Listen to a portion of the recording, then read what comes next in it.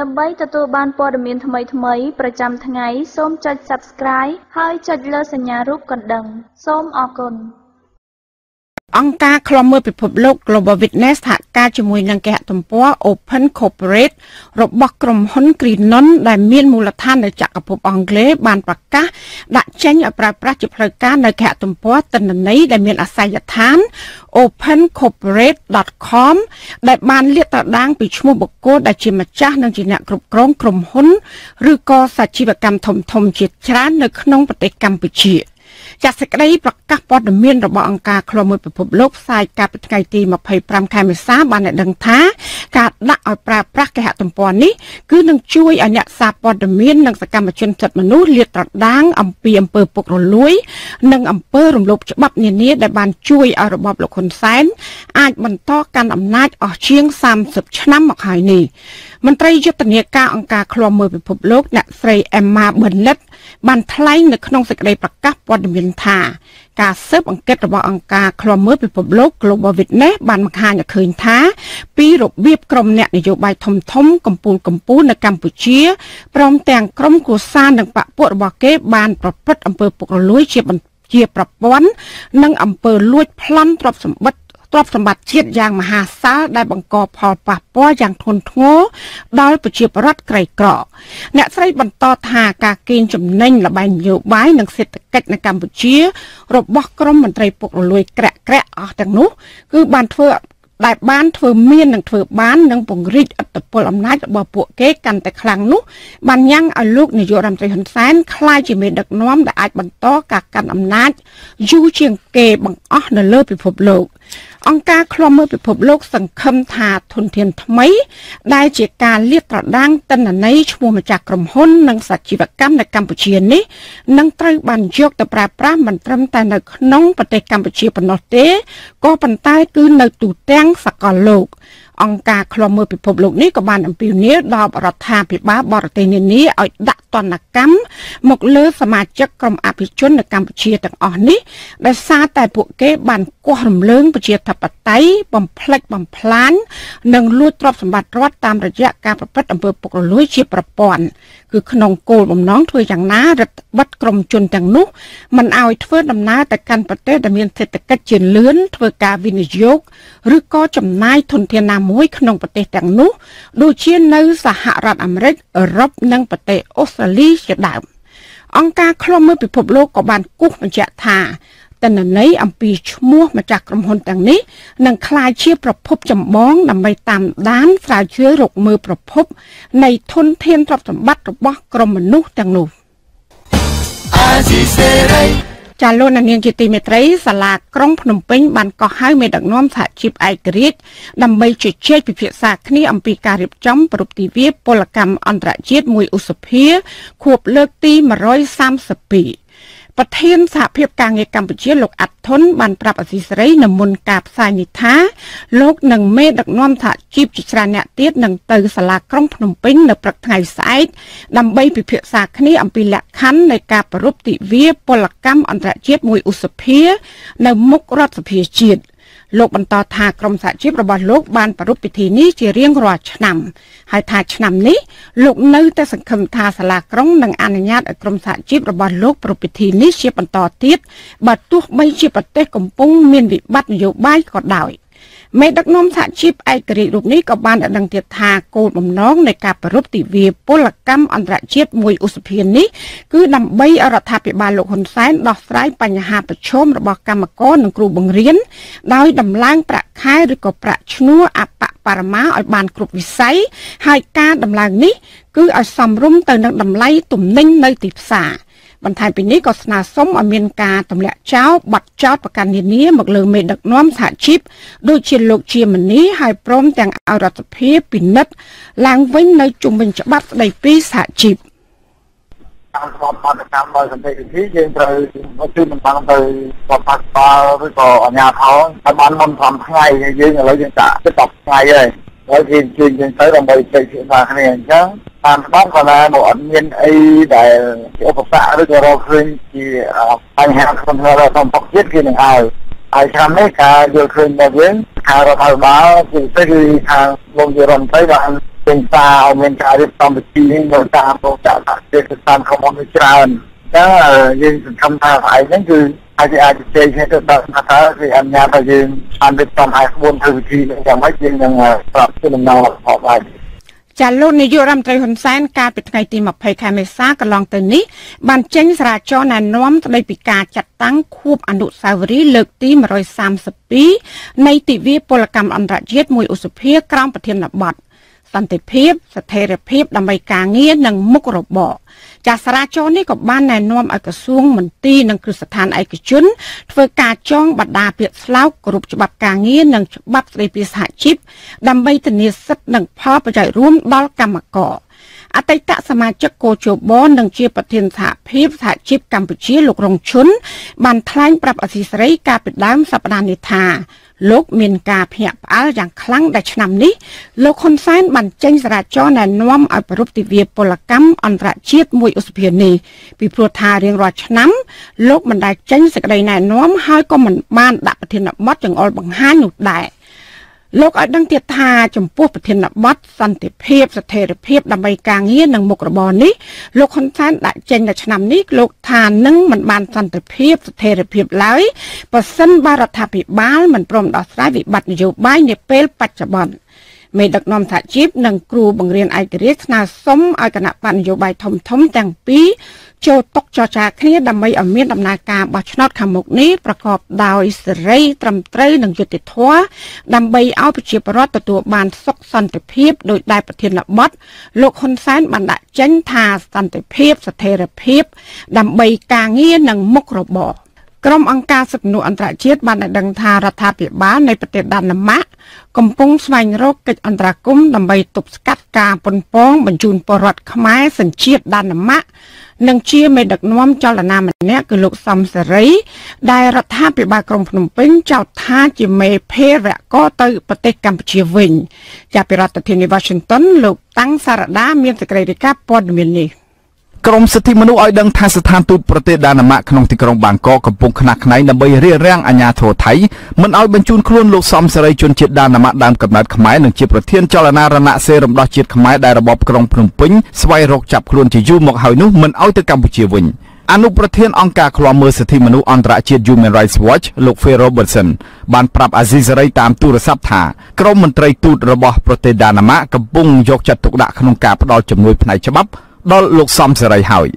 Uh, my understanding is that uh, they are going to treat this as a consular matter. បើតាមអ្វីដែលខ្ញុំដឹងគឺរដ្ឋាភិបាលប្រទេសដាណឺម៉ាកចាត់ទុកបញ្ហានេះគឺជាកិច្ចការផ្នែកកុងស៊ុលហើយពួកគេនឹងចុះទៅជួបលោកសំសេរីដល់មន្ទីរឃុំឃាំងនៅឯទីក្រុងបាងកកដើម្បីផ្ដល់ជំនួយផ្នែកច្បាប់ទៅដល់គាត់ជាងនេះទៅទៀតពួកគេនឹងធ្វើអន្តរាគមន៍ទៅរដ្ឋាភិបាលថៃដើម្បីធ្វើយ៉ាងណាកុំឲ្យបញ្ជូនលោកសំសេរីទៅប្រទេសកម្ពុជាឲ្យសោះ ខាងប្រទេសដាណឺម៉ាកនឹងធ្វើយ៉ាងណាឲ្យរដ្ឋាភិបាលថៃទៅតែបញ្ជូនលោកសំសេរីទៅកាន់ប្រទេសដាណឺម៉ាកវិញកាសែតក្នុងស្រុកបានដកស្រង់សម្ដីលោកខៀវសុភ័ក្រអ្នកនាំពាក្យក្រសួងមហាផ្ទៃចុះផ្សាយថាសមត្ថកិច្ចកម្ពុជាកំពុងតាក់ទងទៅអាជ្ញាធរថៃដើម្បីចាប់បញ្ជូនលោកសំសេរីមកកម្ពុជាវិញប៉ុន្តែមនុស្សចំណិតរបស់លោកសំសេរីបានប្រាប់អាស៊ីសេរីតាមទូរស័ព្ទថាភ្នាក់ងាររបស់អង្គការសហប្រជាជាតិនិងរដ្ឋាភិបាលប្រទេសដាណាម៉ាកំពុងជួយអន្តរាគមន៍យកលោកសំសេរីចេញពីប្រទេសថៃ។ កាលពីឆ្នាំ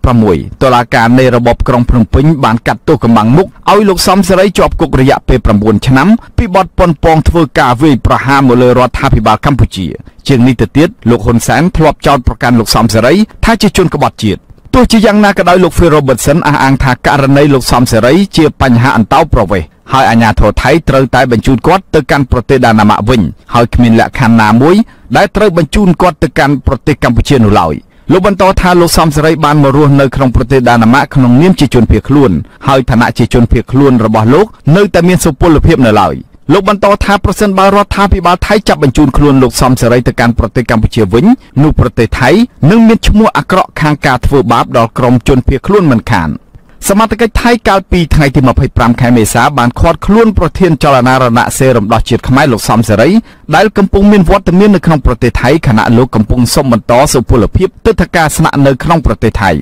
ការចាប់ខ្លួននេះធ្វើឡើងក្រោយពីលោកហ៊ុនសែនបានចោទប្រកាន់មេដឹកនាំចលនារណសេរីរំដោះជាតិខ្មែររូបនេះថាមានបំណងដាក់គ្រាប់បែកបំផ្ទុះនៅម្ដុំវត្តភ្នំនិងក្នុងខេត្តសៀមរាបកាលពីអំឡុងពេលបុណ្យចូលឆ្នាំខ្មែរកន្លងទៅនេះ អង្គការអន្តរជាតិនិងអង្គការក្នុងតំបន់ចំនួន7ដែលព្រួយបារម្ភយ៉ាងខ្លាំងអំពីស្ថានភាពរំលោភសិទ្ធិមនុស្សនិងប្រជាធិបតេយ្យ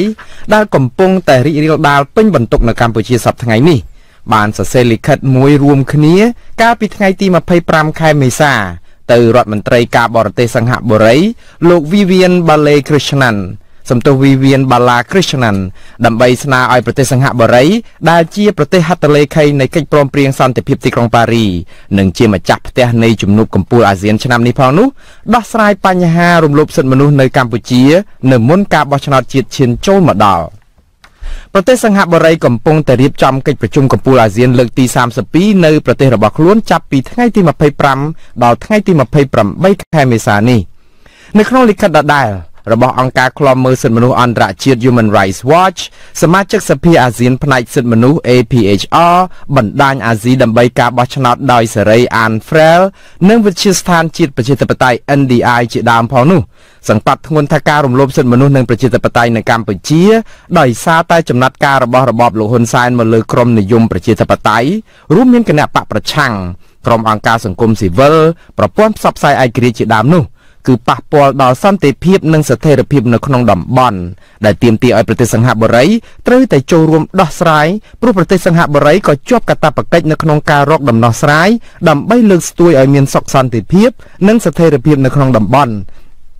តាមរយៈការពង្រឹងការគោរពគោលការណ៍យុត្តិធម៌និងនីតិរដ្ឋនៅក្នុងទំនាក់ទំនងជាមួយនឹងប្រទេសជិតខាងនៅក្នុងតំបន់ដោយមានចែងនៅក្នុងស្តីប្រកាសរបស់ទីក្រុងបាងកកឆ្នាំ1967 នៅក្នុងការរកដំណោះស្រាយវិបត្តិនយោបាយឲ្យបានឆាប់ឆាប់នេះអង្គការទាំងនេះក៏បានស្នើដល់រដ្ឋាភិបាលសង្ហបុរីប្រើប្រាស់យន្តការការទូតទាំងផ្លូវការនិងក្រៅផ្លូវការដើម្បីធ្វើយ៉ាងណាឲ្យរបបលោកហ៊ុនសែនពិចារណាឡើងវិញលើចំណាត់ការដែលបានបំផ្លាញប្រជាធិបតេយ្យនៅកម្ពុជានោះ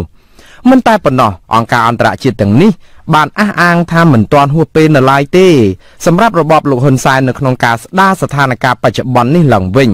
ដើម្បីបង្កបរិយាកាសដែលអំណោយផលល្អដល់ការបោះឆ្នោតជាតិនាថ្ងៃទី29ខែកក្កដាខាងមុខឲ្យមានភាពសេរីត្រឹមត្រូវនិងយុត្តិធម៌ធ្វើយ៉ាងណាឲ្យប្រជាពលរដ្ឋខ្មែរម្ចាស់ឆ្នោតមានសិទ្ធិជ្រើសរើសមេដឹកនាំទៅតាមឆន្ទៈពិតប្រាកដរបស់ខ្លួន។ អង្គការទាំងនេះក៏បានក្រើនរំលឹកថាបើគ្មានដំណោះស្រាយសមស្របនឹងបណ្ដាច់បណ្ដោយឲ្យស្ថានភាពអាក្រក់នាពេលបច្ចុប្បន្ននៅតែបន្តកើតមាននោះរដ្ឋាភិបាលណាក៏ដោយដែលកើតក្រោយការបោះឆ្នោតនៅក្នុងស្ថានភាពអាក្រក់បែបនេះនឹងគ្មានភាពស្របច្បាប់នោះឡើយ។ បើទោះជាយ៉ាងនេះក្តីមន្ត្រីនាំពាក្យគណៈបកប្រជាជនកម្ពុជាលោកសុកអេសានចាត់ទុកការព្រួយបារម្ភអំពីបញ្ហាសិទ្ធិមនុស្សនិងប្រជាធិបតេយ្យនៅកម្ពុជានៅក្នុងជំនួបកម្ពុជាអាស៊ានលើកទី32នេះថាជាការឥតប្រយោជន៍និងធ្វើឡើងដើម្បីចំណេញនយោបាយបកប្រឆាំងតែប៉ុណ្ណោះលោកសុកអេសានចាត់ទុកអង្គការអន្តរជាតិទាំងនេះថាមិនយល់ពីធម្មនុញ្ញអាស៊ានដែលមិនជ្រៀតជ្រែកកិច្ចការផ្ទៃក្នុងដូចគ្នា ហើយការដែលលើកឡើងថាវាជាមានមានអធិពលអីដល់សន្តិសុខក្នុងតំបន់គ្រាន់តែជាគំនិតមួយខាងទេដែលបំភ័យឲ្យសមាគមអាស៊ាននឹងលើកយកបញ្ហានឹងមកអញ្ចឹងទេខ្ញុំយល់ថាបណ្ដាប្រទេសជាសមាជិកអាស៊ានទាំង10មិនល្ងងឆ្ោតល្ងងទៅតាមការញុះញង់ឬក៏ការអូសទាញរបស់អង្គការមិនមែនរដ្ឋាភិបាលដែលលំអៀងមួយចំនួននោះទេបាទ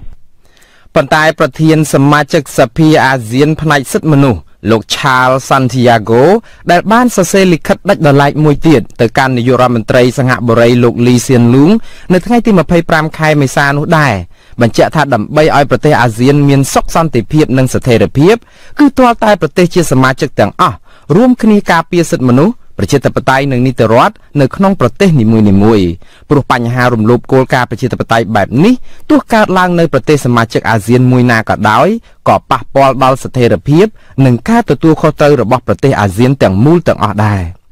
ជាចុងក្រោយអង្គការទាំង7នោះក៏បានអំពាវនាវជាពិសេសដល់ប្រទេសឥណ្ឌូនេស៊ីដែលជាសហប្រធាននៃកិច្ចព្រមព្រៀងសន្តិភាពទីក្រុងប៉ារី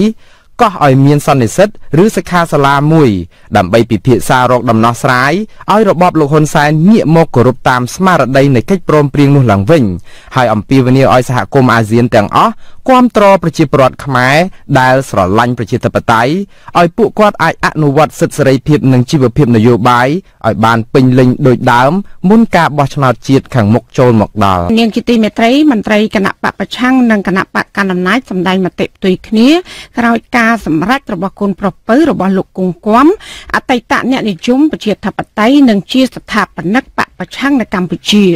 គឺក្នុងការបង្កើតគណៈបកថ្មីមួយឈ្មោះថាគណៈបកឆន្ទៈខ្មែរគណៈបកនេះនឹងប្រកួតប្រជែងការបោះឆ្នោតនៅថ្ងៃទី29ខែកក្កដាខាងមុខអ្នកវិភាគយល់ថាការបង្កើតគណៈបកថ្មីក្នុងកលៈទេសៈនេះគឺគ្រាន់តែជួយបង្កើតរូបភាពប្រជាធិបតេយ្យคล้ายคล้ายឲ្យរបបលោកហ៊ុនសែនតែប៉ុណ្ណោះចាលោកទីនសាការីយ៉ារាយការណ៍ព័ត៌មាននេះ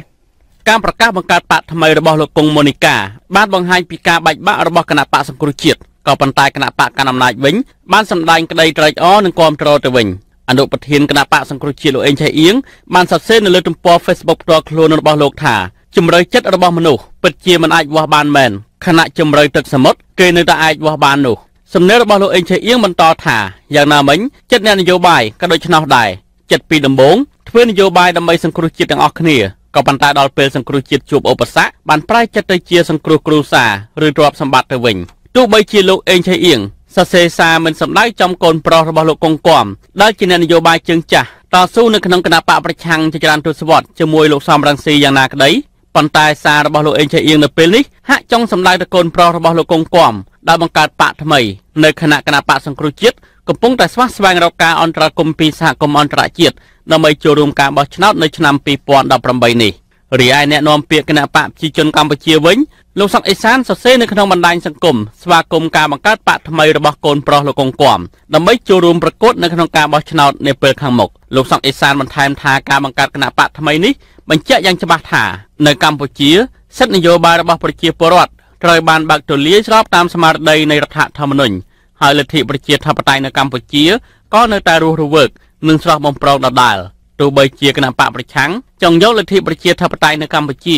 មកធ្វើជាកម្មសិទ្ធិផ្ទាល់ខ្លួនយ៉ាងណាក៏ដោយកាលពីថ្ងៃទី25មេសាកូនប្រុសពៅលោកកុងគំគឺលោកកុងម៉ូនីកាបានចេញមកបង្កើតបកថ្មីឈ្មោះឆន្ទៈខ្មែរអគ្គលេខាធិការរងនៃគណៈបកឆន្ទៈខ្មែរលោកហេងយឿនមានប្រសាសន៍ថាការបង្កើតបកថ្មីនេះដោយសារមានសង្ឃឹមទៅលើការរស់ឡើងវិញនៃគណៈបកសង្គ្រោះជាតិខណៈដល់ការបោះឆ្នោតបានខិតជិតមកដល់លោកបន្តថាបកថ្មី មិនទាន់បានគិតអំពីប្រភពធនធានថវិកាសម្រាប់ទ្រទ្រង់បកនោះទេប៉ុន្តែមានការគ្រប់គ្រងយ៉ាងពេញទំហឹងពីលោកកុងគំជាឪពុកលើសពីនេះទៀតការបង្កើតបកថ្មីនេះក៏ជានិមិត្តរូបនៃគណៈបកសង្គ្រោះជាតិដូច្នេះលោកសង្ឃឹមថានឹងមានសម្លេងគាំទ្រចាស់ដើម្បីផ្លាស់ប្តូររបបលោកហ៊ុនសែននិងស្ដារលទ្ធិប្រជាធិបតេយ្យឡើងវិញទន្ទឹមគ្នានេះលោកហេងយឿនបន្តថាលោកមិនខ្វល់អំពីការរិះគន់យ៉ាងណានោះទេ គេថាអីថាទៅប៉ុន្តែយើងអត់មានលំអទេយើងចូលរួមទៅប្រកួតប្រជែងចង់បានកៅអីពិតប្រកបហើយយើងចង់ឈ្នះទៀតដើម្បីផ្លាស់ប្ដូររបបដើម្បីផ្លាស់ប្ដូរគេហៅមានការផ្លាស់ប្ដូរហើយយើងចង់ធ្វើឲ្យមានលទ្ធិប្រជាធិបតេយ្យពិតប្រកបសេរីពហុបកតំណាងរាជគណៈបកសង្គ្រោះជាតិលោកកុងបូរ៉ាដែលជាបងប្រុសបង្កើតរបស់លោកកុងម៉ូនីកា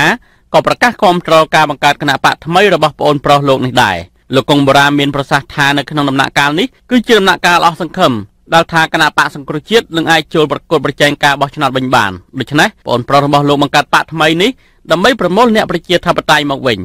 ដោយភាពអំណត់តាមដានទាំងស្ថានភាពនយោបាយក្នុងប្រទេសនិងក្រៅប្រទេសឃើញថាពេលវេលាខ្លីហើយมันមានដំណោះស្រាយនយោបាយហើយសង្ឃឹមថាវត្តមានគណៈបកសង្គ្រោះជាតិអាចនឹងមានវត្តមានចូលរួមក្នុងការបោះឆ្នោតបានដូច្នេះហើយខ្ញុំថាគួរតែមានគ្រប់គ្រង ក្រុមក្មេងដែលជាលលកក្រោយនឹង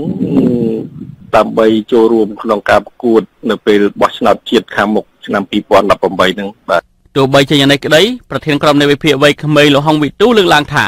ការបង្កើតបកថ្មីនេះគឺជាសិទ្ធិរបស់មនុស្សគ្រប់រូបក៏ប៉ុន្តែវាអាចផ្ដល់ផលប៉ះពាល់ខ្លះដែរក៏ប៉ុន្តែលោកអះអាងថាមិនធំដុំឡើយម្យ៉ាងវិញទៀតលោកយល់ឃើញថាការបង្កើតបកថ្មីជាបន្តបន្ទាប់ ដោយគ្មានមូលដ្ឋានច្បាស់លាស់នោះវាគ្រាន់តែជាការចូលរួមលំអប្រជាធិបតេយ្យคล้ายៗរបស់លោកហ៊ុនសែនតែប៉ុណ្ណោះ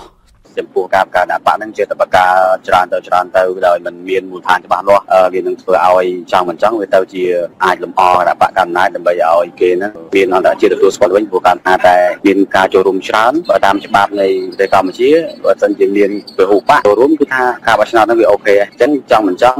បើសិនយើងបង្កើតមកដោយលក្ខណៈពិតប្រាកដហើយมันមានឆន្ទៈវិតកតទៅតាមឈ្មោះគណៈបកទេវានឹងធ្វើឲ្យមានផលប៉ះពាល់ទៅដល់គណៈបកផ្សេងៗដែលគាត់មិនបានចូលរួមបោះឆ្នោតបាទ លោកកុងគំជាអតីតប្រធានគណៈបកសំរងស៊ីនិងជាមន្ត្រីជាន់ខ្ពស់គណៈបកសង្គ្រោះជាតិលោកមានកូនប្រុស3នាក់ក្នុងនោះមានលោកកុងបូរ៉ាលោកកុងសុភាដែលជាតំណាងរាស្ត្រនៃគណៈបកសង្គ្រោះជាតិក៏ប៉ុន្តែអ្នកទាំង3ត្រូវបានរបបលោកហ៊ុនសែនហាមមិនឲ្យធ្វើនយោបាយរយៈពេល5ឆ្នាំដោយឡែកលោកកុងម៉ូនីកាលោកហ៊ីងយឿនអះអាងថាក៏ជាអតីតមន្ត្រីជាន់ខ្ពស់គណៈបកសង្គ្រោះជាតិដែរក៏ប៉ុន្តែមិនត្រូវបានរបបលោកហ៊ុនសែនហាមឃាត់សិទ្ធិធ្វើនយោបាយឡើយ ក្រោយពីរំលាយគណៈបកសង្គ្រោះជាតិដែលជាដៃគូប្រកបប្រជែងស្មើកម្លាំងគ្នាជាមួយគណៈបកកណ្ដាលអំណាចនោះមានគណៈបកតូចៗចំនួន2ត្រូវបានបង្កើតឡើងជាបន្តបន្ទាប់គឺគណៈបកខ្មែរតែមួយបង្កើតឡើងដោយប្អូនប្រុសបង្កើតរបស់លោកមនិតកែមលីគឺលោកកែមរិទ្ធិសិទ្ធនិងគណៈបកឆន្ទៈខ្មែរបង្កើតឡើងដោយកូនប្រុសរបស់លោកកងគំនេះទោះបីជាយ៉ាងនេះក្តីការបង្កើតបកថ្មីតែងតែទទួលរងនឹងការរិះគន់ពីសាធារណជនថា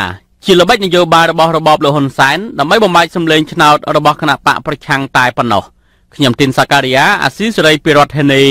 Washington ចាលោកនាងជាទីមេត្រីជាបន្តទៅទៀតនេះសូមអញ្ជើញលោកនាងស្ដាប់បទសម្ភាសន៍បន្ថែមរបស់លោកទីនសាការីយ៉ា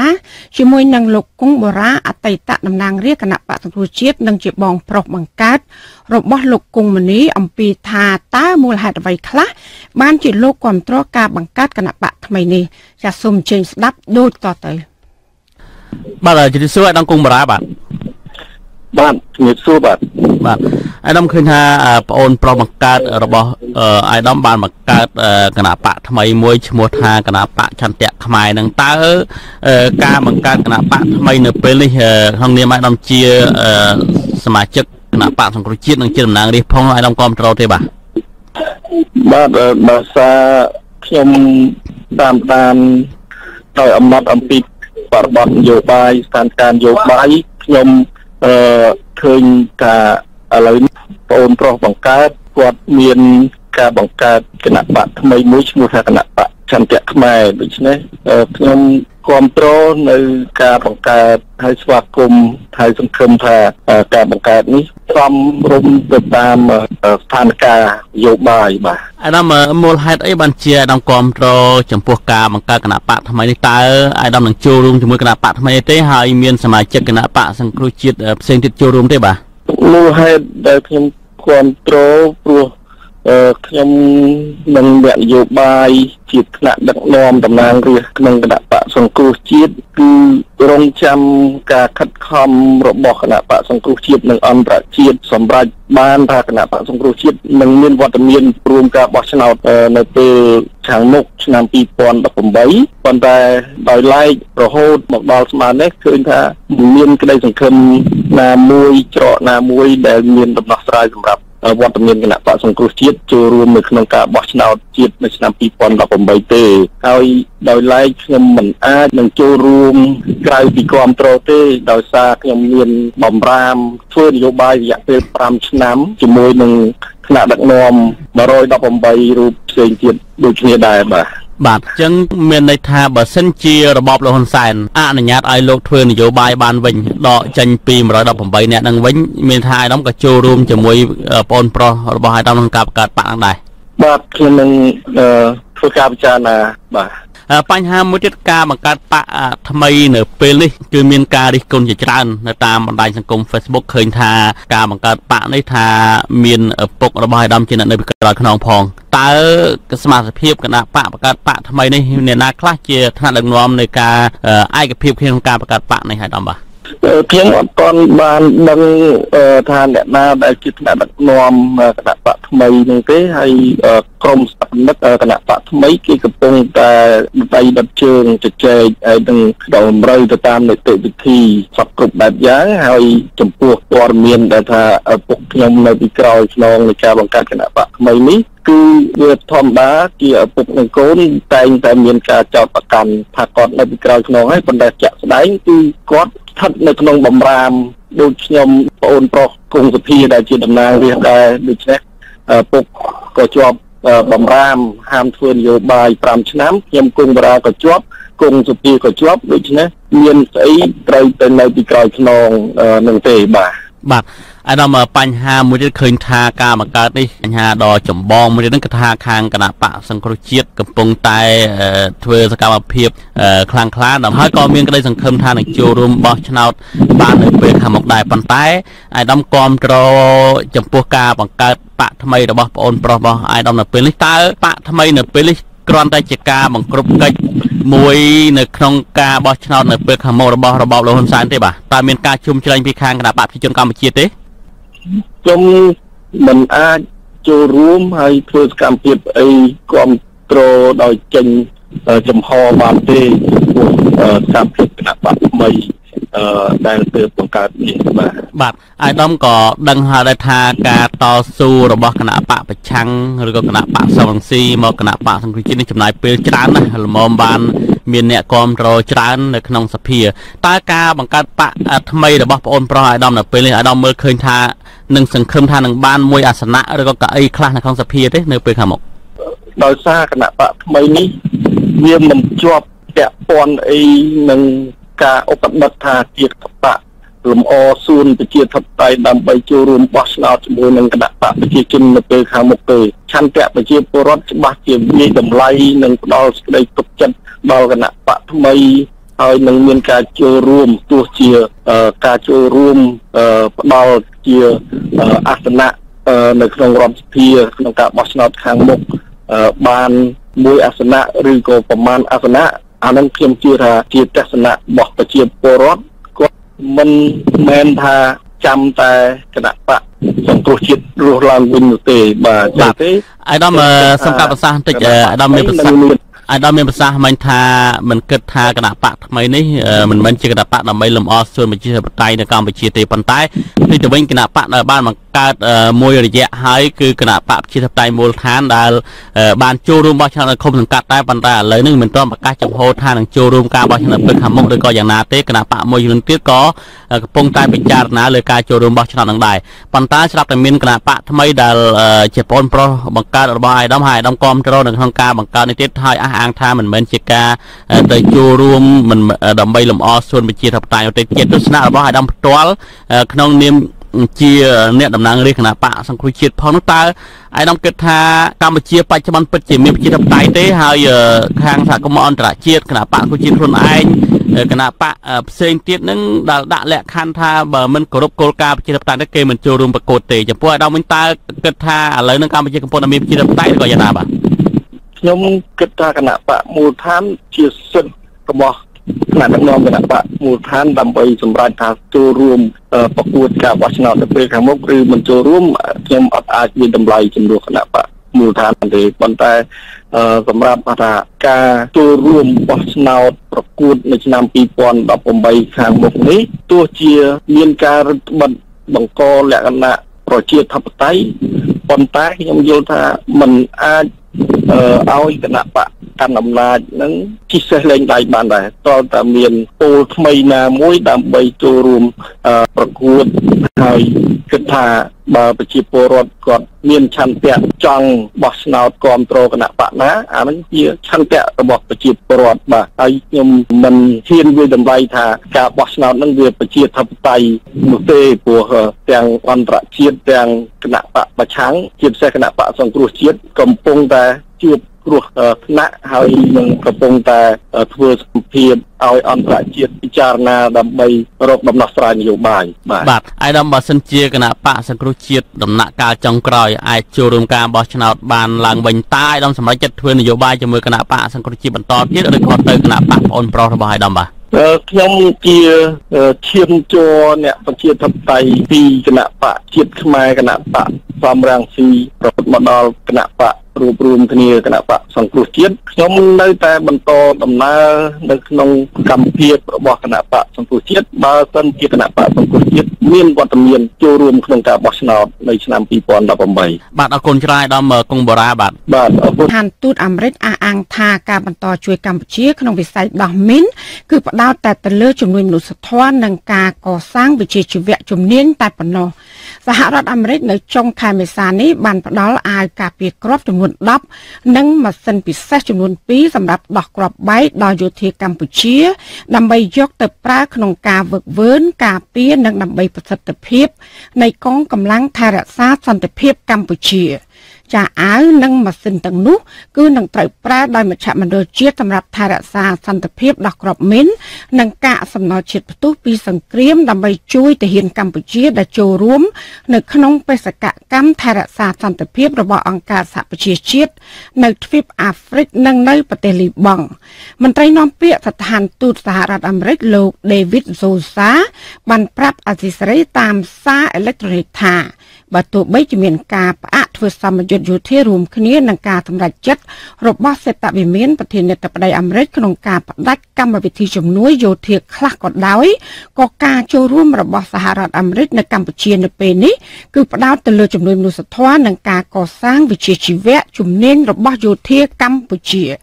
ចាលោក David Josa ឲ្យដឹងទៀតថា មានមន្ត្រីយោធាកម្ពុជាមួយចំនួនបច្ចុប្បន្នកំពុងសិក្សាជាមួយនឹងជនជាតិអាមេរិកនៅតាមសាលាយោធារួមមាន ទាំងនៅបណ្ឌិតសភាយោធា Naval Academy នៅសហរដ្ឋអាមេរិកផងដែរលោកថាយោធាអាមេរិកនឹងបន្តធ្វើការ ធ្វើការនៅលើគម្រោងជំនួយមនុស្សធម៌នានានៅកម្ពុជាដូចជាសាងសង់សាលារៀននិងមន្ទីរពេទ្យព្រមទាំងជួយបណ្ដុះបណ្ដាលយោធាកម្ពុជា ដើម្បីត្រៀមខ្លួនក្លាយជាកងទ័ពថែរក្សាសន្តិភាពរបស់អង្គការសហប្រជាជាតិ ចាលោកនាងកញ្ញាកំពុងស្ដាប់ការផ្សាយផ្ទាល់របស់វិទ្យុអសីស្រីដែលផ្សាយចេញពីរដ្ឋធានី Washington នៅខេត្តក្រចេះនៅវិញបរដ្ឋមានវិបត្តិដីធ្លីនៅស្រុកស្នួរអំពីនីវឲ្យអភិបាលខេត្តថ្មីយកចិត្តទុកដាក់ដោះស្រាយវិបត្តិដីធ្លីហើយនិងបញ្ហាមួយចំនួនរបស់ប្រជាពលរដ្ឋការអំពាវនាវនេះគឺធ្វើឡើងនៅគ្រាដែលរដ្ឋមន្ត្រីក្រសួងមហាផ្ទៃលោកសខេងបានប្រកាសតែងតាំងលោកវ៉ាថនឲ្យចូលកាន់តំណែងជាគណៈបញ្ជាការឯកភាពខេត្តនិងជាអភិបាលខេត្តកោះចេះក្នុងការជំនួសលោកសជំរងនៅព្រឹកថ្ងៃទី26ខែមេសានេះលោកសនច័ន្ទរដ្ឋារាយការណ៍ព័ត៌មាននេះ ប្រជាប្រដ្ឋនៅខេត្តក្រចេះនិងមន្ត្រីសង្គមស៊ីវិលចង់ឃើញអភិបាលខេត្តថ្មីគោរពគោលការណ៍លទ្ធិប្រជាធិបតេយ្យនិងលើកយកផែនការដោះស្រាយបញ្ហាប្រឈមរបស់ប្រជាពលរដ្ឋមកពិគ្រោះយោបល់ឲ្យបានគ្រប់ជ្រុងជ្រោយនិងដោះស្រាយចំទិសដៅជាពិសេសគឺវិបត្តិដីធ្លីរ៉ាំរ៉ៃនិងការពន្លឿនអនុវត្តគោលនយោបាយផ្ដោតដីសម្បត្តិសង្គមគិច្ចជាដើមពួកគេបារម្ភថាបើអាជ្ញាធរថ្នាក់ក្រោមជាតិមិនពិគ្រោះយោបល់ឲ្យបានទូលំទូលាយនោះទេបញ្ហាប្រឈមនៅតែកើតមានដដែលហើយប្រជាពលរដ្ឋនៅតែរងគ្រោះ ប្រជាពលរដ្ឋនៅឃុំពីធ្នូថ្លែងសុំមិនបញ្ចេញឈ្មោះឲ្យដឹងនៅថ្ងៃទី26ខែមេសាថាលោកហាក់ពុំមានជំនឿសោះថាអភិបាលខេត្តថ្មីមានឆន្ទៈដោះស្រាយបញ្ហាប្រឈមជុំប្រជាពលរដ្ឋឲ្យបានគ្រប់ជ្រុងជ្រោយនិងយុត្តិធម៌នោះទេព្រោះវិបត្តិដីធ្លីរវាងប្រជាពលរដ្ឋនិងអ្នកមានអំណាចគឺជាឧបសគ្គនាំឲ្យអភិបាលខេត្តហាក់មានការខ្លាចញញើតមិនហ៊ានអនុវត្តច្បាប់ លោកថាអភិបាលខេត្តមុនមុនមកពីគណៈបកប្រជាជនកម្ពុជា បានអនុវត្តការងារស្តីងគ្នាគឺគិតតែប្រយោជន៍បកពួកច្រើនជាងប្រយោជន៍របស់ប្រជាពលរដ្ឋនិងរើសអើងនិន្នាការនយោបាយលោករំពឹងថាអភិបាលខេត្តថ្មីនឹងគិតគូរផលប្រយោជន៍របស់ប្រជាពលរដ្ឋជាធំជាជាងក្រុមហ៊ុនឯកជននិងគោលការណ៍លទ្ធិប្រជាធិបតេយ្យបាទខ្ញុំចង់ឲ្យអាបាខេត្តថ្មីហ្នឹង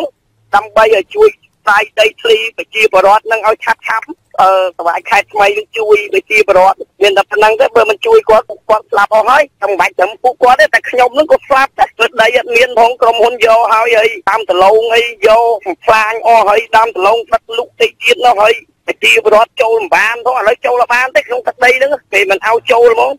ចំណែកប្រជាពលរដ្ឋដែលរស់នៅឃុំកំពង់ចាមស្រុកសម្បូរខេត្តក្រចេះ លោកវ៉ាន់ត្រៃយល់ថាបលល្មើសព្រៃឈើក្នុងតំបន់ព្រៃឡង់និងបលល្មើសនេសាទនៅតែកើតមានគួរឲ្យព្រួយបារម្ភហេតុនេះលោកចង់ឃើញអភិបាលខេត្តថ្មីស្វែងរកដំណោះស្រាយបញ្ហានេះធ្វើយ៉ាងណាផ្ដល់កិច្ចគាំពារធនធានធម្មជាតិនិងទប់ស្កាត់បទល្មើសនេសាទឲ្យបានគ្រប់ជ្រុងជ្រោយលោកសង្កេតឃើញថាអាញាធរមិនបានអនុវត្តច្បាប់បទល្មើសនេសាទឲ្យបានពេញលេញនោះទេដែលនាំឲ្យជនល្មើសមិនរឹងចាលនៅមិនខ្លាចច្បាប់ហើយបទល្មើសនេសាទនៅតែបន្តកើតមាន។ ពេលគាត់ឡើងជាតំណែងហ្នឹងយើងចង់ឲ្យគាត់ជួយជួយដើម្បីទប់ស្កាត់បទល្មើសព្រៃឈើកុំឲ្យកាប់បំផ្លាញព្រៃឈើព្រៃទុនធានធម្មជាតិយើងវាកាន់ខ្សោយទៅខ្សោយទៅអញ្ចឹងណាហើយនឹងអាបទល្មើសនេសាទបទល្មើសនេសាទអីនេះមួយវាថាចាប់បានទៅវាថាខំសហគមន៍ឬខំឆ្មាំទលេគាត់ចាប់បានគាត់ស្គាល់ទៅឲ្យសាលាការដោះស្រាយឃុំឃាំងខ្លួនអីមួយថាយកទៅឃុំមិនទៅបានបាន2 3ខែឃើញចេញវិញកំពូចឆក់ទៀតអីចឹងណា ក្នុងពិធីតែងតាំងអភិបាលខេត្តថ្មីលោកសខេងបានជំរុញឲ្យលោកវ៉ាថនដោះស្រាយបញ្ហាប្រឈមរបស់ប្រជាពលរដ្ឋដោយយុត្តិធម៌និងជៀសវាងការទាមទារសេវាកម្រៃខុសច្បាប់ធ្វើលិខិតបទដ្ឋាននិងគតិយុត្តនានាលើសពីនេះត្រូវបង្ក្រាបបទល្មើសគ្រឿងញៀនដែលជាអត្តពលអាក្រក់ដល់ជនបទត្រូវហាមមិនឲ្យជួលដីតាមព្រំដែនឲ្យបរទេសត្រូវលុបបំបាត់ការនាំទំនិញចូលនិងចេញខុសច្បាប់និងទៅពិនិត្យឬបង់ពន្ធឲ្យបានត្រឹមត្រូវលោកថាអភិបាលខេត្តថ្មីដែលចូលកាន់អំណាចនេះ បានឆ្លងកាត់បទពិសោធន៍ការងារនិងការសិក្សាច្រើននាយកប្រតិបត្តិអង្គការសម្ព័ន្ធគណនេយ្យភាពសង្គមកម្ពុជាលោកសុនជ័យយល់ថាការផ្លាស់ប្តូរអភិបាលខេត្តកញ្ចេះថ្មីនេះស្ថិតនៅក្នុងហេតុផលគ្រប់អាយុជនវត្តច្រើនជាងផ្អែកទៅលើប្រសិទ្ធភាពការងារក្នុងនាមជាអភិបាលខេត្តលោកថារបបក្រុងភ្នំពេញគួរតែប្រើយន្តការថ្មីកំណត់សុចនាករនៅក្នុងការដោះស្រាយបញ្ហាប្រឈមឲ្យបានច្បាស់លាស់ដើម្បីឲ្យអភិបាលខេត្តថ្មីយកទៅអនុវត្តឲ្យបានពេញលេញ ជៀសវាងការឡើងការតំណែងរួចធ្វើប្រងើយកន្តើយដែលនាំឲ្យប៉ះពាល់ដល់ប្រជាពលរដ្ឋហើយបញ្ហាប្រឈមរបស់ពលរដ្ឋនៅតែមិនបានដោះស្រាយការដោះស្រាយបញ្ហារោគអីឃ្លីអីរបស់ប្រជាពលរដ្ឋហ្នឹងគួរតែជាការកំណត់នៅបរិយាកាសចនាករឲ្យបានច្បាស់លាស់ដើម្បីឲ្យស្រួយខេត្តហ្នឹងយកទៅអនុវត្តទៅទៅទៅទៅមិនធ្វើទៅហើយទៅគឺចឹងវិជារដ្ឋនៅតែខាតបង់ផលប្រយោជន៍ជារដ្ឋនៅតែមានបញ្ហាដដែលនេះគឺ គឺជាចំណុចថ្មីមួយដែលយើងចង់ឃើញថាការអនុវត្តការងាររបស់រដ្ឋបាលកម្ពុជានឹងត្រូវធ្វើនៅនៅពេលអនាគតខ្ញុំនៅតែយល់ថាពួកគេមិនបានធ្វើការងារបានល្អទេតែថាទីមួយការរៀបចំផែនការការងារសម្រាប់ដោះស្រាយបញ្ហាប្រឈមរបស់ខេត្តនីមួយៗអតីតអភិបាលខេត្តកោះចេះលោកសចម្រុងបានឡើងកាន់តំណែងជាអភិបាលខេត្តនេះអស់រយៈពេល5ឆ្នាំមកហើយតាំងពីឆ្នាំ2012 នៅគ្រាដែលអតីតអភិបាលខេត្តកោះចេះលោកខំភឿនបានស្លាប់ដោយសារគ្រោះថ្នាក់ចរាចរណ៍ក្នុងពិធីប្រកាសតែងតាំងនេះលោកសខេងបានដាស់តឿនអភិបាលខេត្តថ្មីឲ្យជួយគ្រប់គ្រងរោងចក្រដែលមកវិនិយោគនៅខេត្តក្រចេះក្នុងនោះមានរោងចក្រហុងកុងដែលមកវិនិយោគប្រមូលទិញដំឡូងមីលើពីនេះត្រូវប្រាជ្ញាការពីអនុវត្តគោលនយោបាយភូមិឃុំមានសវត្ថភាពនិងហាមដាច់ខាតមិនឲ្យមានការឈូសឆាយដីធ្លីតាមបន្ទាប់ព្រំដែនខុសច្បាប់យ៉ាងណាក៏ដោយចុះប្រជាពលរដ្ឋនៅខេត្តក្រចេះរំពឹងថា អភិបាលខេត្តថ្មីនឹងមិនប្រើកម្លាំងប្រដាប់អាវុធបាញ់រះមកលើប្រជាពលរដ្ឋទៀតទេនឹងស្វែងរកដំណោះស្រាយជួបប្រជាពលរដ្ឋដោយសន្តិវិធីនិងយុត្តិធម៌សកម្មជនតំបន់អរ៉ែងម្នាក់កិច្ចខ្លួនចេញពីភូមិក្រោយរងការគំរាមដល់អាយុជីវិតពីអាជ្ញាធរឃុំហើយនៅចុងកម្មវិធីលោកនាងនឹងបានស្ដាប់ព័ត៌មានបញ្ចប់បាទសូមអញ្ជើញលោកនាងតាមដានស្ដាប់ការផ្សាយរបស់យើងជាបន្តដោយមេត្រី